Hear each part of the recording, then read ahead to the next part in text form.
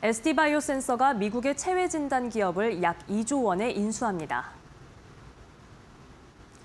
ST바이오 센서는 국내 사모펀드 운용사인 SJL 파트너스와 함께 미국의 체외 진단 기업 메리디안 바이오사이언스를 약 2조 원에 인수 합병한다고 오늘 밝혔습니다.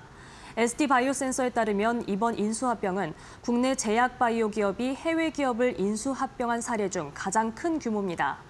ST바이오 센서는 이번 인수합병으로 메리디안의 북미 유통망을 활용하고 미국을 비롯한 전 세계 시장 진출에 속도를 내겠다고 밝혔습니다. 또한 메리디안의 미국 식품의약국 인허가 경험과 메리디안이 보유하고 있는 유럽 생산시설이 현지 사업 확대와 투자비 절감에 주요한 역할을 할 걸로 기대하고 있습니다.